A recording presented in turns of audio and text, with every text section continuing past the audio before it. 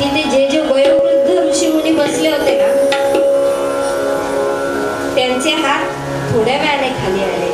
परंतु जे तरुण असे ऋषीमुनी होते त्यांनी हात वर ठेवूनच प्रभूंचं गुणगान केलं होतं. इकडे त्याच्या उलट झालं. झालं की नाही? कारण मी बघितले इकडे आजी बसल्या होत्या त्यांचे सुद्धा हात खाली बराच वेळ आलेले आहेत परंतु इथे जे काही तरुण रक्त आहे झालं की नाही सांगा बरं? हे करण्याच्या मागे म्हणतात ईश्वराला जितकी आपली काळजी असते ना तितकी काळजी कोणीही जगतात करू शकत नाही. कारण असं म्हणतात की ईश्वराने ज्यावेळी सृष्टी निर्माण केली परंतु स्वतः सारखी काहीतरी प्रतिकृती निर्माण केली आणि ती प्रतिकृती म्हणजे हे नरशरीर म्हणजे हे हा मनुष्य देह. आणि म्हणतात ही प्रतिकृती तयार केली परंतु ईश्वरालाच इतका मोह झाला ना की स्वतः येऊन गुप्त रूपाने याच्यामध्ये दडून बसला. मग त्याने त्याला जितकी आपली काळजी आहे तितकी काळजी अन्य कोणाला असेल का? मग तो त्याच्या भक्तांना किंवा जे कोणी त्याचे प्रचारक आहेत त्यांना स्वप्नात जाऊन कसंही जाऊन एक कार्य सोपवणार. की कलियुगाचा प्रारंभ झाला आहे. त्यावेळची गाथा त्यावेळची भागवत गाथा हलकीशी वेगळी होती. आताची थोडीशी वेगळी आहे. कारण ती तशी करणं आवश्यक आहे.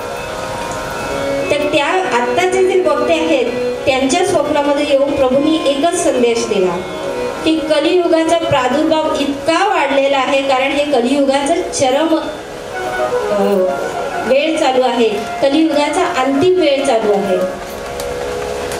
आणि म्हणतात यावेळी कलियुगाच्या प्रादुर्भावामुळे लोक इतकी आळशी होतील की स्वतःच्या स्वास्थ्यासाठी सुद्धा स्वतःच्या शरीराची हालचाल सुद्धा करू इच्छित नाही. म्हणून आजच्या वक्त्यांना प्रभूंनी एक संदेश दिला कमीत कमी जाऊन त्यांचे हे जे सर्वायकल पॉईंट्स आहेत ना कमीत कमी एवढा तरी व्यायाम करून घ्या. म्हणून तुम्हाला कारण कालच आले होते प्रभू माझ्या स्वप्नात मला एवढंच सांगून गेलं की चिंद्रणचे लोक जे आहेत ना थोडेसे आळशी आहेत. बऱ्याच जणांना आपली आपली कामं होती. आळशी म्हणण्यापेक्षा काय आहेत ना आहेत ते सगळे माझेच. परंतु त्यांच्या स्वास्थ्याकडे इतकं दुर्लक्ष करून चालेल कसं? मग एकच काम करायचं. उद्या प्रथम दिवस आहे ना पहिल्याच दिवशी क्लास सुरू. पहिल्याच दिवशी त्यांचे वामअप आपण बोलतो ना त्याला. हाऊ मेनी ऑफ यू आपल्यापैकी किती जण असे आहेत? जातात जिमला जातात थोडेफार. कधीतरी. वामअप करतो ना. हा जो व्यायाम करतो ना हा त्यातलाच एक प्रकार आहे. आणि याने तुमचे हे जे सर्वायकल पॉईंट्स आहेत ना याला कुठे ना कुठेतरी रिलीफ मिळणार आहे. कारण ते इतके वर्षानुवर्षे कदाचित ते हल्लेच नसतील. है ना? त्यामुळे त्याच्यासाठी म्हणून प्रभूंनी मला जो संदेश दिला त्याचं काम मी सात दिवस तरी करून घेईल सात दिवसाचा हा कोर्स आहे अगदी विनामूल्य. जे काही त्याचा त्या कोर्ससाठी जे जे काही लागणार काय म्हणतात खर्च आहे खर्च म्हणण्यापेक्षा जे काही तुम्हाला इन्स्ट्रुमेंट्स जे काही हवे ते सगळं या परिवाराच्या पुण्यामुळे पुण्याईमुळे तुम्हाला मिळत आहे. त्यामुळे विनामूल्य कोर्स तुमच्या दारात आलेला आहे. तुम्हाला फक्त चालत येऊन इथे या कोर्सला बसण्याची आवश्यकता आहे. बरोबर की नाही? जमलं तर इथे ठेवून जा. फीज फीज फीज जमेल का? कोणाकोणाला जमेल? हात वर करा बरं. नको नको नको. तर पुन्हा एकदा गाथेकडे बोलूया ही गाथा ज्यावेळी अशा पद्धतीने भक्ती देवीने सर्व भक्तांच्या हृदयामध्ये स्थान ग्रहण केलं सर्वजण भाव विभोर झाले आनंदाने मग्न होऊन आनंदाने नाचू लागले गाऊ लागले आणि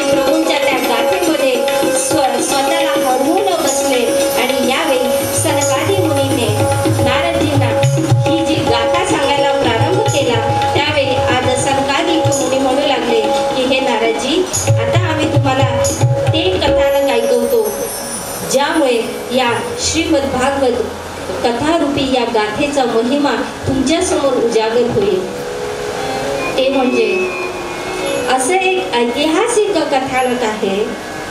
तुंगभद्रा नदीच्या किनारे आत्मदेव नावाचा ब्राह्मण राहत होता.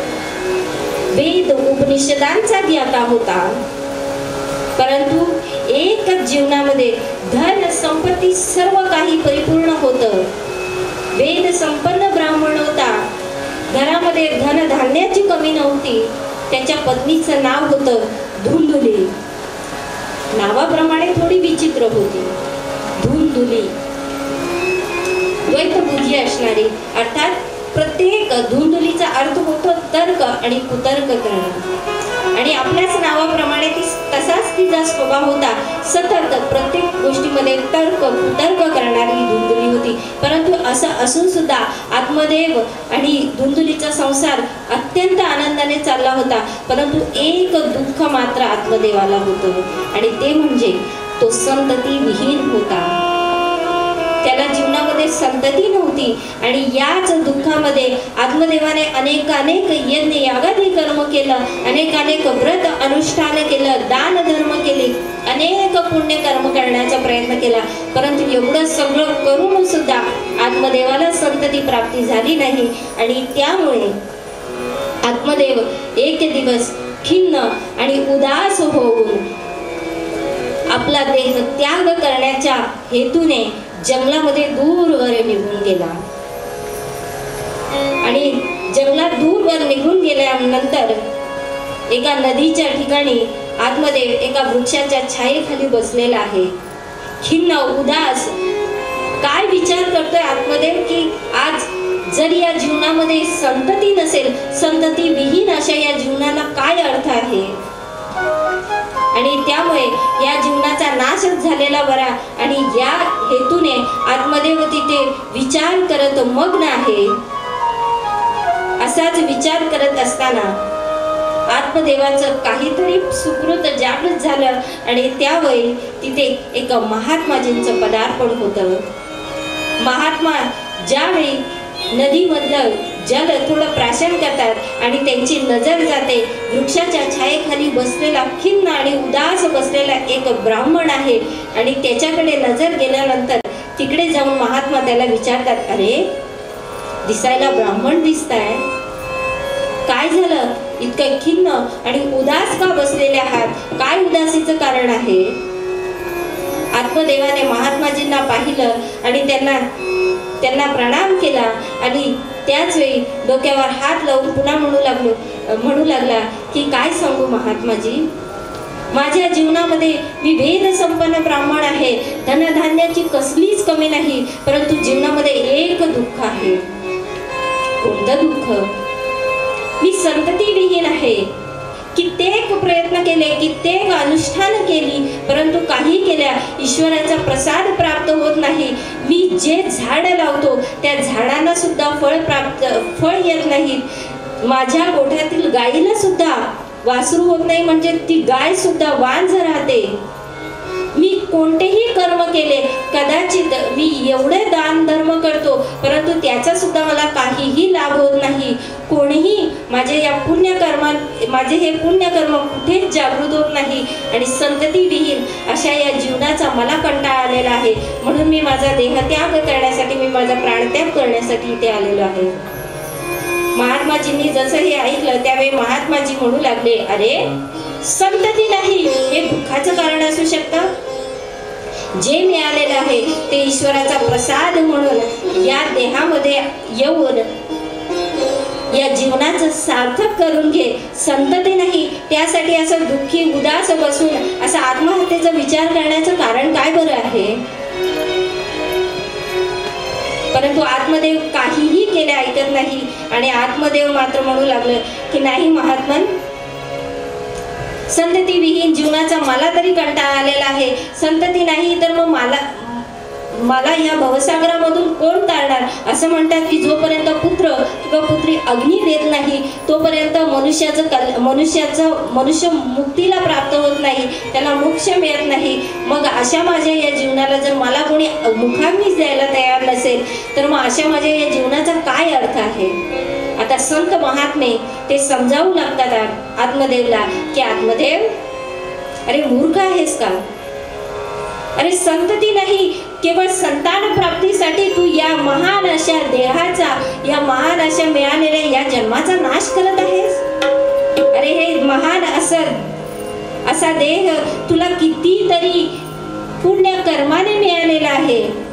आणि म्हणायला गेलं तर या शरीरामध्ये काय आहे? परंतु ईश्वराच्या कृपेने मिळालेला आहे.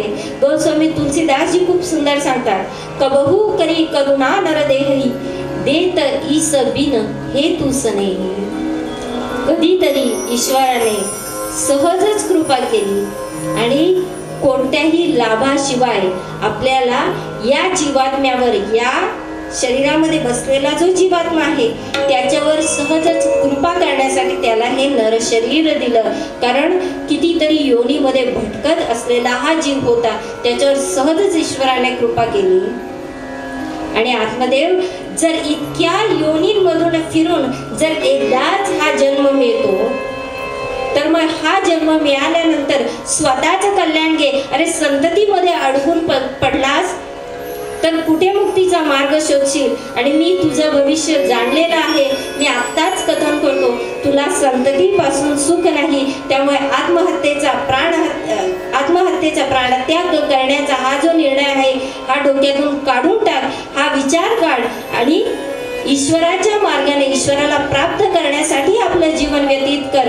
त्यातच तुझं खरं कल्याण आहे. आत्मदेव काहीही केले ऐकत नाही आज संत महात्मे जणू काही आत्मदेवला समजावतात. अरे आत्मदेव महान असं मिळालेलं हे नर शरीर आहे. महान अशा हे मनुष्य देह मिळालेला आहे. याचं कल्याण कर.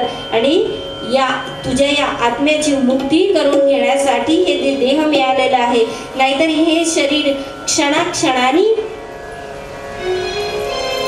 नष्ट होत आहे. क्षणाक्षणाने हे हे तुझे हे जीवन जे मृत्यूकडे वाटचाल करत आहे आत्ताच जागा हो. कारण कबीरदासजी खूप सुंदर सांगतात. कबीरा जब हम पैदा हुए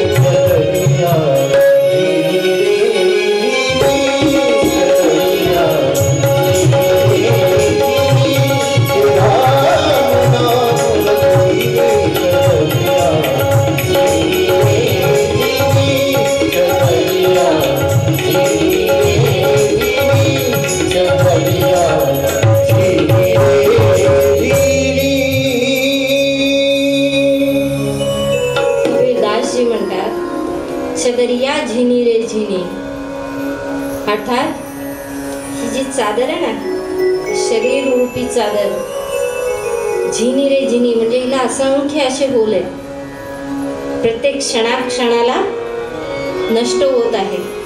तुम्ही एखादा कपडा घेतला तर तो कपडा वर्षानुवर्ष वर्षानुवर्ष म्हणजे कल्पापर्यंत तसाच टिकून राहील का मला सांगा? कधी ना कधीतरी तो जीर्ण होईल. ही जी चादर आपल्याला ईश्वराने प्रदान केलेली आहे ना या चादरीचा असा उपयोग करायचा की ज्याने ती दिले त्याला जशीच्या तशी परत देता आली पाहिजे. कबीर दासजींनी अशी केली. मग कबीर दासजींनी अशी का कसं काय केलं? म्हणतात कसं बनवलेली आहे ही? अष्ट कमल दल चरखा बनाया. या शरीरामध्ये अष्ट कमल दल आहे ना? खूप गहन विषय आहे. या गाथेमध्ये येताना तो विषय येईल त्यावेळी मी नक्की याचा खुलासा करेन. परंतु अष्ट कमल दल दलरूपी चरखा बनवला आणि त्याला वरून आवरण घातलं आणि त्यानंतर ही चादर आपल्याला या आत्म्याला हे या चादरीचं आवरण प्रभूंनी दिलं आणि त्यामुळे ही चादर अशी ओढायची जशी ध्रुव प्रल्हाद सुदामा आणि सुखदेवजींनी ओढली. असा या शरीराचा उपयोग करायचा.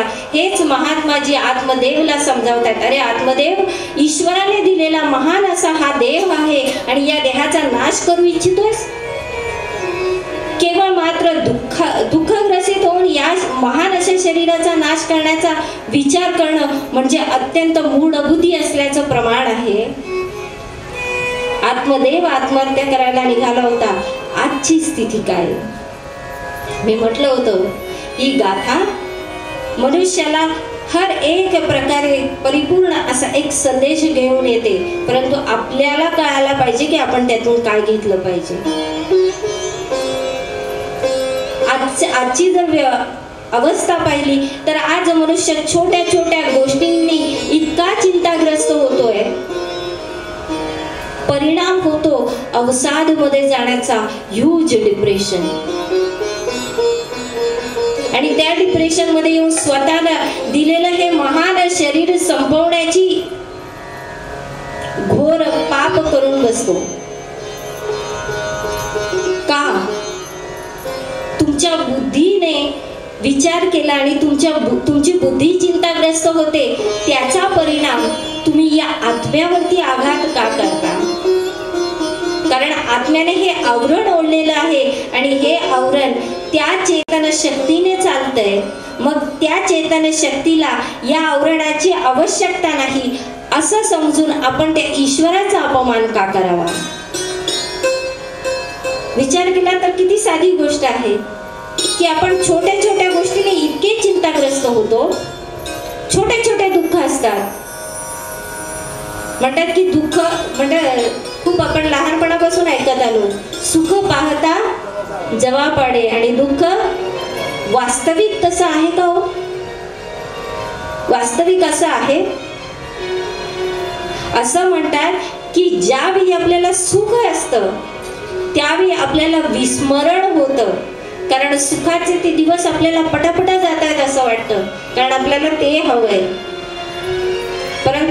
कष्ट आले तर आपल्याला असं वाटतं की का कष्ट आले का कष्ट आले? कारण आपण त्याच्यात ऐच्छिक नसतो. ते आपल्याला आपल्या मनासारखं आलेले नसतात. त्यामुळे आपल्याला असं वाटतं की ते खूप मोठं आहे. वास्तविक कोणतंही दुःख इतकं मोठं नाही की त्याने तुम्ही तुम्ही ईश्वराने दिलेल्या या महान देहाचा अपमान कराल. कारण समस्या आहेत तर प्रत्येक समस्याचं निवारण करणारा तो प्रभू परमात्मा बसलेला आहे आवश्यकता आहे त्याच्यावर नितांत दृढ विश्वास ठेवायची. म्हणतात सुख दुःख दो पहलू जीवन के संग संग चलते तन और मन के. दुःख वास्तविक होतं कोणाला? शरीराला. तुम्ही नष्ट करता शरीर नष्ट करता की आत्मा नष्ट करता? शरीर. पण अन्याय कोण्यावर होतो? आत्मा. कारण म्हणतात की लक्ष चौ चौऱ्याऐंशी लक्ष योनींचा फेरा पूर्ण करून आणि असं नाही की चौऱ्याऐंशी म्हणजे एटी फोर लॅक्स फक्त चौऱ्याऐंशी लक्ष वेळा जन्म घेऊन मनुष्य दे एक एक योनी कोटी कोटी फेरा. करोड किती कित्येक फेरे एका एका योनीमध्ये करावे लागतात. आणि ते केल्यानंतर मग मनुष्य जन्माचा वारा लागेल मग इतक्या महा इतक्या दुर्लभ असणाऱ्या देहाची जर आपल्याला प्राप्ती झाली तर या देहाचा नाश करून आपण कोणतं असं महान कार्य करणार आहोत? आणि जर आपला नाश होऊन आपण आत्महत्या करून जर ते दुःख संपणार असेल ते दुःख संपणार आहे का? कारण तुम्ही जर आत्महत्या केली तर तुमच्या येणाऱ्या पिढीला बाकीचं त्यांना ते दुःखाचा सामना करावाच लागणार आहे ना? मग असं कोणतंही दुःख इतकं मोठं नसतं की ईश्वराच्या वरती विश्वास ठेवून ते दुःख नष्ट होय नष्ट होणार नाही. इतकं मोठं कोणतंच दुःख या जगतात नाहीये.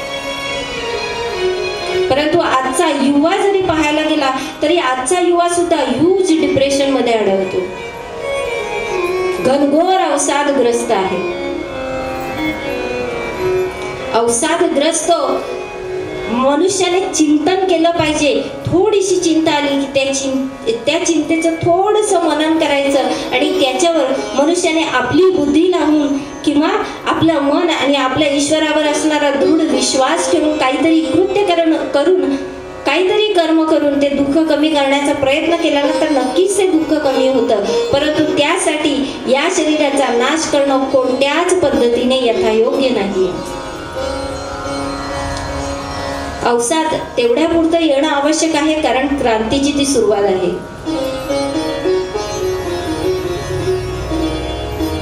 अर्जुन सुद्धा अवसादग्रस्त झाला होता. म्हणाला होता नाही करायचं युद्ध.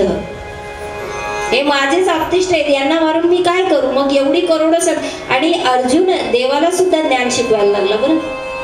अर्जुन म्हणतो देवा तुला समजतं गे माझे बघ माझे आजोबा आहेत माझे पितामह आहेत माझे आपतिष्ट आहेत. सगळे माझे ब- बंधू आहेत.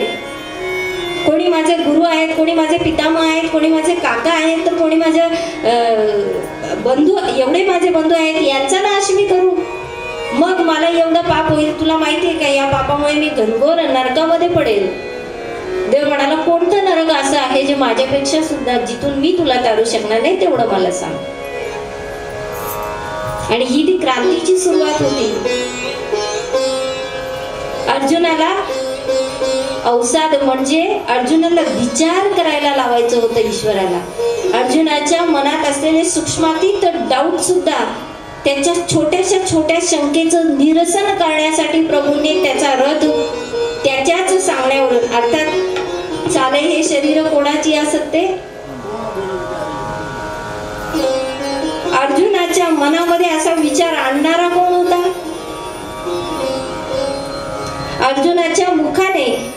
हे श्रीकृष्ण माझा रथ या सेनेच्या मधोमध या कुरुक्षेत्राच्या मधोमध माझा रथने दोन्ही सैन्याच्या मधोमध माझा रथने हे अर्जुनाकडून बोलावून कोणी घेतलं?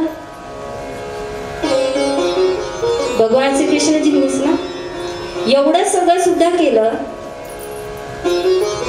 आणि त्यानंतर अर्जुनाला एवढं केल्यानंतर अर्जुन अर्जुनाचे हात लटपट कापायला लागले. देवा कसं शक्य आहे? मी माझ्याच आपतेष्टांचा वध कसा करू? त्यावेळी गीतेचा महान उपदेश दिला. गीता म्हणजे कोणती साधा सुद्धा तुम्ही म्हणाल अठरा अध्यायांचा एक छोटासा नाही. महान अशी फिलॉसॉफी वेगवेगळ्या डिप्रेशन मधून बाहेर काढणाऱ्या थेरपीज आज गीतेमध्ये आहे आणि केवळ मेर उपदेश नव्हता केला अर्जुनाला ते तत्व स्वरूपाचं बोध सुद्धा करून दिला होता. कारण स्वतः प्रभू सांगतात जबरी अर्जुना तो बोधू भेटे ना मना तवची या साधना अखंडमज तुला तोपर्यंत करावं लागेल. यत्न प्रयत्न तुझे तोपर्यंत करायला लागेल जोपर्यंत तुला तो बोध होणार नाही. अर्जुन या डिप्रेशन मधून बाहेर येण्यासाठी मी तुला मदत करणारच आहे परंतु तुझी सुद्धा तयारी पाहिजे या मानसिकतेमधून बाहेर येण्याची. अर्थात टाकणाराही तोच बाहेर काढणाराही तोच आहे. मग जर हे संपूर्ण सृष्टी ज्याच्या इच्छे खातर हालत नाही मग आपल्या जीवनामध्ये आलेले दुःख त्याच्या इच्छेने असतील का नसतील? तो दुःख का देतो माहिती? आपल्याला जागृत करण्यासाठी. अमेरिकन सैन्य दल जे आहे आर्मी किंवा चायनाची जी आर्मी आहे असं वाटतं त्यांचं ज्यावेळी प्रशिक्षण चालू असतं ना त्यावेळी त्यांच्या इथे त्यांची जी कॅप असते त्याच्या इथे छोटासा असा तीक्ष्ण असा खिळा असतो. ते का असतं? कारण जर कधी सैन्यांना झोप आली तर ते जागृत होण्यासाठी म्हणून ते सतत टोचत असतो. तो शूल टोचत असतो. आज दुःखरूपी शूल आपल्याला का टोचतात? याचं कारण आपण पडताळून पाहण्यासाठी म्हणून ईश्वर ते हलकेसे शूल देतो. परंतु ते त्यातूनही जर आपण सावरलं नाही तर आपण आपल्याच कर्मांनी एवढा कुडा कचरा एकत्र करतो की त्याचं फलस्वरूप आपल्याला महान असं मोठं दुःख मिळतं ज्याच्यातून बाहेर येणं आपल्याला कठीण होऊन बसतं. म्हणून सुख आणि दुःख हा प्रभूचा प्रसाद म्हणून ज्यावेळी प्राप्त केला जे आहे ते तुझ्या मर्जीने आहे ना? तू दिलंय ना? म्हणतात ना एक खूप सुंदर वाक्य होतं. मी सहजच वाचलं होतं. आहे ना हरी मग डोंट वरी बरोबर की नाही? आहे ना हरी गेलाय का तो कुठे? आहे ना? तुम्ही म्हणाल हरी आहे तर मग दिसत का नाही? सात दिवसात गाथेमध्ये नक्की दिसणार. आणि तो कसा दिसणार हे तू हे सुद्धा तुम्हाला सांगून जाणार. एवढंच नाही इच्छा असेल तर तुम्हाला दाखवूनही जाणार. हरी कुठे गेलाय का? कुठे आहे हरी? आहे ना? पण प्रत्येकाने आपला हा जो उजवा हात आहे ना आपल्या हृदयाच्या ठिकाणी कोण नाही आहे ना असं स्पेशल ज्याचं हृदय डाव्या उजव्या साईडला आहे? आहे का असा कोणी उलट्या काळजाचा? आहे का? नाही ना? इथे हात ठेवून फक्त प्रामाणिकपणाने एकच गोष्ट सांगा. खरंच कधी?